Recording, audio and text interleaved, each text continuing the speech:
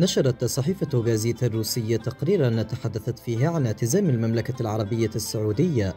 شراء منظومة الدفاع الجوي إس 400 ومقاتلات سو 35 وأسلحة أخرى من روسيا على خلفية الحظر الأمريكي المؤقت على بيع الأسلحة للمملكة. وقالت الصحيفة في تقريرها إن إدارة جو بايدن أعلنت عن تجميد مؤقت لمبيعات الأسلحة الموجهة للسعودية.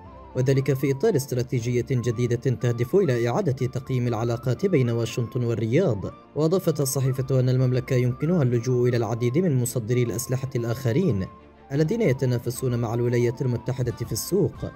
ووفقا لما نقلته مجلة ناشونال انترست الأمريكية فإن روسيا لديها التقنيات والعتاد التي تريده المملكة العربية السعودية. تواصل المملكة تنفيذ رؤية 2030 والتي يأتي من أحد أهم أهدافها. توطين الصناعات العسكرية بنسبة 50% في عدة مجالات مختلفة منها الصيانة وإصلاح العربات العسكرية ومجال الأسلحة والذخائر والصواريخ. وقالت الإلكترونية الدفاعية وتشمل الرادارات والمستشعرات وأنظمة الاتصالات والحرب الإلكترونية. ويستهدف توطين الصناعات العسكرية خلق أكثر من أربعين ألف وظيفة مباشرة وثلاثين ألف وظيفة غير مباشرة بحلول العام 2030 وقالت تقارير روسية أن السعودية اشترطت نقل التكنولوجيا وإقامة خطوط إنتاج في المملكة لدخول الاتفاقية حيز التنفيذ. مشيرة وفقا لمسؤولين روس إلى أنه سيتم تلبية الشروط بتشييد مصنع لإنتاج أسلحة نارية في السعودية. وتوجت المباحثات السعودية الروسية خلال زيارة خادم الحرمين الشريفين الملك سلمان بن عبد العزيز إلى موسكو. أعمالها بالتوقيع على توريد الأسلحة النوعية للمملكة. ونقل التقنية اللازمة لهندسة وإنتاج وإصلاح وصيانة الأسلحة وقطع الغيار في السعودية. ومن ضمنها راجمة القنابل AGS 30 إحدى أهم وأشهر المنظومات العسكرية وهو واحد من أشهر الأسلحة الروسية وتأتي أهميته لقدراته الخارقة في إطلاق 400 قنبلة في الدقيقة. وهي سرعة إطلاق عالية جدا ويصل مداه إلى أكثر من 2100 متر بدقة عالية إلى جانب خفة وزنه. وحمله 30 قنبلة في كل مخزن. ويعد سلاح AGS-30 قاذف قنابل أوتوماتيكية مصمم في روسيا. وتستخدمه القوة المسلحة الروسية ويمكن تركيبه على العربات واستخدامه كنظام تحكم عن بعد. كما يحتوي السلاح على منظار إلكتروني ومحدد مسافة دقيق. وتستخدمه عدة دول من بينها روسيا والهند. ومقدونيا وأذربيجان وبنغلاديش. وفي الوقت نفسه يتعين على الولايات المتحدة القيام بدورها من خلال مواصلة تطوير الصواريخ باتريوت. والمكونات الأخرى اللازمة لتوفير منظومات دفع صاروخي فعالة لحلفائها. نشر معهد ستوكهولم الدولي لإبحاث السلام. تقريرا سنويا تضمن لائحة بأكبر الدول المصدرة للأسلحة في العالم حيث يشكل سوق بيع الأسلحة في العالم أهمية كبرى للدول المصنعة والمصدرة له. بحيث تعتمد هذه الدول على هذا السوق كمدخول أساسي لها لوضع الميزانية المالية ولتحديد الواردات والنفقات المستقبلية. وبحسب التقرير احتلت الولايات المتحدة الأمريكية المركز الأولي من حيث مصدري الأسلحة في العالم. وتلتها روسيا والصين. وجاءت كل من فرنسا وألمانيا في المركزين الرابع والخامس في لائحة التقرير. وأشار إلى أن هذه الدول الخمسة الأولى تشكل حوالي 75% من صادرات الأسلحة في السوق العالمي. أما الولايات المتحدة وروسيا فتشكلان النسبة الأكبر حوالي 57% من السوق العالمي لصادرات الأسلحة. ونشر التقرير الذي رصده موقع سبوتنيك عربي معلومات مفصلة عن الدول المصدرة للأسلحة بين عامي 2014 و 2018 حيث صدرت روسيا أسلحتها إلى 48 دولة ومن أبرزهم الهند والصين والجزائر. وفي السنوات الأخيرة ازداد الطلب على أسلحة الدب الروسي حيث ارتفعت نسبة الصادرات حوالي 7.8% وكانت معظم وجهة السلاح الروسي إلى الشرق الأوسط. وتحديدا إلى السعودية ومصر وإسرائيل وقطر والعراق. أكد مراقبون أن تصريحات ولي العهد الأمير محمد بن سلمان لمجلة ذا إيكونومست في الرابع من يناير أثبتت حرص السعودية على السلام من منطلق القوة ويؤكد كلام المراقبين تقريرا نشرته مجلة ذا ناشونال انترست حول القوة العسكرية السعودية تحت عنوان قائمة بخمسة أسلحة فتاكة تمتلكها السعودية. ينبغي لإيران أن تخشاها ويتضح من التقرير أن الرياض لم تشتري الأسلحة الأكثر تقدما في العالم إلا للأيام الصعبة وهي عندما يتعرض أمنها القومي والعربي للخطر.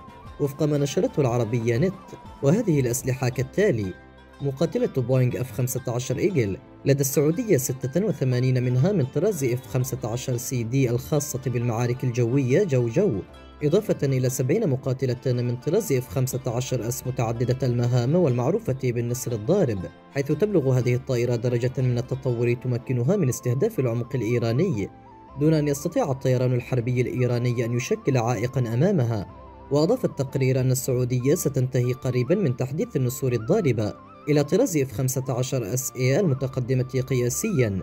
والثالثا المخصص للمسح الإلكتروني وأنظمة الحرب الإلكترونية الجديدة وأجهزة استشعار متطورة أخرى حيث سيضاف إلى سلاح الجو الملكي 84 من هذه الطائرات المعدلة. كما يذكر أن إيران تحاول التعويض عن الخلل في توازن القوى في السماء عبر الاتكال على أنظمة صواريخ محلية الصنع لنسخ صينية وكورية. الإعصار تايفون جاء في التقرير أيضا أن المقاتل تايفون ثاني أكثر الأسلحة السعودية فتكا وذلك مقارنة بسلاح الجو الإيراني المهترئ الذي يعود إلى سبعينيات القرن الماضي. وهذه المقاتلة الأوروبية زودت المملكة العربية السعودية سلاح جو الملكي ب 72 منها. لأنها مقاتلة مميزة للغاية في معارك الجو جو والجو أرض. ليس من الواضح عدد مقاتلات تايفون التي تسلمتها السعودية. حسب التقرير إلا أن التقديرات تشير إلى احتمالية دخول أكثر من نصف المقاتلات المتعقد عليها الخدمة. وأنه خلافا لمعظم العقود السابقة فإن هذه الصفقة ليست على غرار سابقاتها التي تم بموجبها تجميع أغلبية المقاتلات محليا في السعودية. أي أنها جاهزة للالتحاق بأي معركة احتمالية. بوينغ AH-64 أباتشي. من خلال التقرير يمكن الاستنتاج أن المملكة العربية السعودية لم تبخل في الاهتمام بقوتها البرية وذلك من خلال تجهيزها بأحدث الأسلحة في العالم. كما هو الحال بالنسبة للقوات الجوية وواحدة من أقوى الأسلحة على هذا الصعيد هي مروحية بوينغ AH-64 D أباتشي حيث تمتلك السعودية 82 منها. كانت هذه المروحية قد صممت خصيصا للجيش الأمريكي في سبعينيات القرن الماضي من أجل التصدي لأي هجوم سوفيتي محتمل بوسط أوروبا في أثناء الحرب الباردة واستخدمها الجيش الأمريكي خلال غزو العراق عام 2003 وكانت أداة لا تقدر بثمن حينها حتى بعد سقوط بغداد تواصلت أمريكا في استخدامها لضرب معاقل داعش.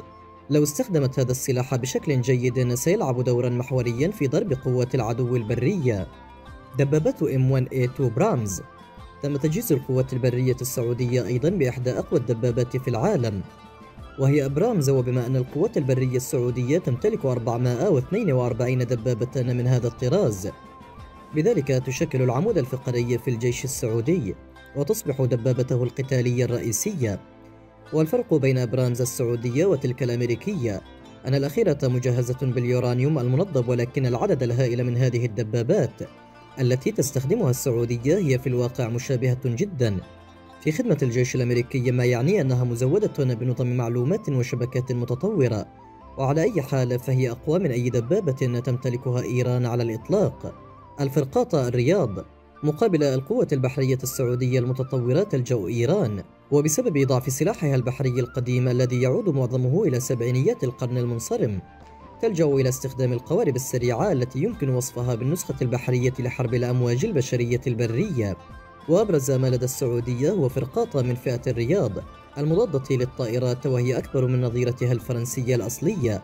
لافاييت بنحو 25% الفرقاطة تحمل أنظمة صواريخ للإطلاق الرأسي وتستوعب 15 صاروخا من طراز أستر. وهي صواريخ أرض جو بإمكانها أن تهاجم الطائرات المغيرة في نطاق يبلغ نحو 20 ميلا. وعلى ارتفاع يصل إلى 50 ألف قدم. وحسب صفحة تهتم بشؤون القوات البحرية الملكية السعودية. على موقع ويكيديا فإن السعودية تمتلك ثلاثة فرقاطات من هذا الطراز. وهي فرنسية الصنع ونسخة معدلة من النوع الفرنسي التي جميعها مزودة بحزمة تسليحية وتقنية حرب إلكترونية.